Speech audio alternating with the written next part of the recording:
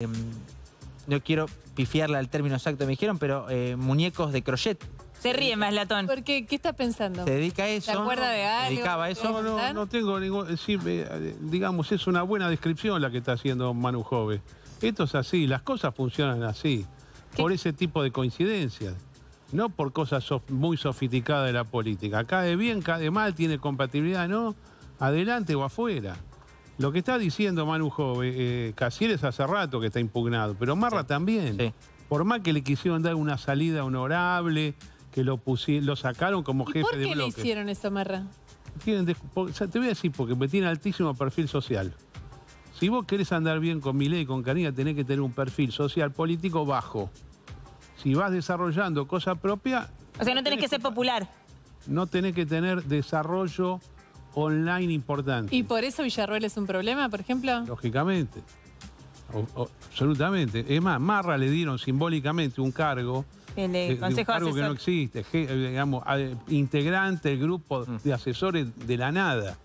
Eh, el, el gran problema lo va a tener Marra cuando tenga que renovar su banca en la Bueno, legislatura el año que viene. Hubo un gesto que queda en ese sentido en los últimos días, en las últimas horas. Te diría porque lo, hizo, lo que hizo Karina Milei como nueva gran armadora estratega electoral, pensando en 2025, fue crear, armar, fortalecer la Libertad Avanza Ciudad de Buenos Aires.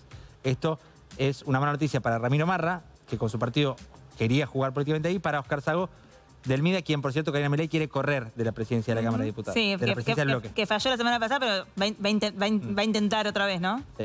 ¿Ya dijimos lo de la gente del hotel? Sí. No, faltó, faltó un integrante. Ah, ¿eh? hay un integrante más cortito. Dos personas más en el círculo, eh, Gladys Una más, una. Humenuk, que es la que hoy dicen la dueña de la motosierra en Olivo, subsecretaria de Coordinación Administrativa, y está, ahí está Roxy Coso, Roxana Coso, eh, ¿cómo la conoció? Era la gerente del Hotel Libertador, de hecho ahí la ven con...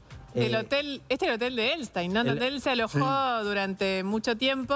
el hotel donde hizo su búnker de campaña y donde estuvo viendo incluso los primeros días siendo todavía eh, ya presidente en funciones, no solamente presidente estuvo. electo, sino presidente en funciones. Tejió muy buen vínculo Roxana Sí, Coso también ahí. son razonables. Ahí está, lo dice ella. Mira, momento histórico en nuestro querido hotel. Ahí. Feliz de ser parte de este gran equipo. Ahora pasó. Ahí está. acompaña permanentemente a- eh, esta semana, por ejemplo, al Forcisos. Mirei llegó acompañado de este grupo de personas, entre ellos estaba la Ahí gerente está. del Hotel Libertador. Gracias, Manu. Muy bien. Eh, queremos hablar de economía, lo queremos hacer con Carlos Maslatón, tenemos que hacer un cortecito más. Ah, ¿ya mismo? Bueno, no sé si- ya. ¿Y el pronóstico de Maslatón? ¿Vamos bien? ¿La vemos o no la vemos? Ay, dale, quédate Ya ahí. volvemos.